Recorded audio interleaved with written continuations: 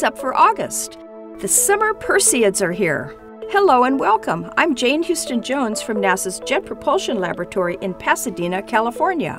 The Perseid meteor shower is the best of the year. It peaks on a moonless summer night from 4 p.m. on the 12th until 4 a.m. on the 13th, Eastern Daylight Time. Because the new moon falls near the peak night, the days before and after the peak will also provide nice dark skies. Your best window of observation is from a few hours after twilight until dawn on the days surrounding the peak. Unlike most meteor showers, which have a short peak of high meteor rates, the Perseids have a very broad peak, as Earth takes more than three weeks to plow through the wide trail of cometary dust from Comet Swift-Tuttle.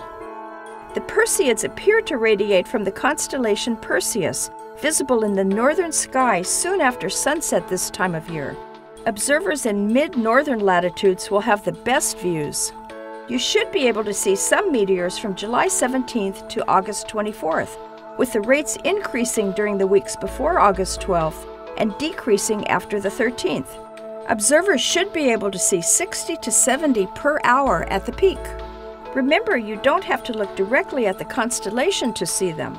You can look anywhere you want to, even directly overhead.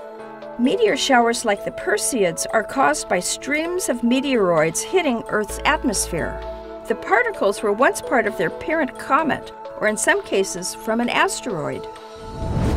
The parade of planets, Venus, Jupiter, Saturn, and Mars, and the Milky Way continue to grace the evening sky, keeping you and the mosquitoes company while you hunt for meteors.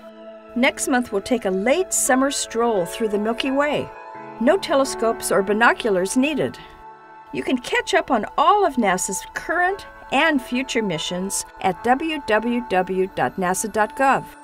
That's all for this month. I'm Jane Houston Jones.